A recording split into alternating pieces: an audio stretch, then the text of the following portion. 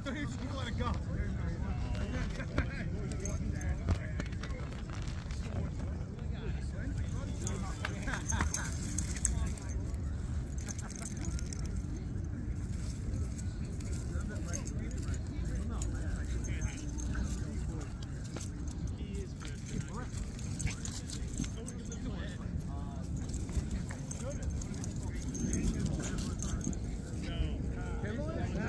Nah. Nah,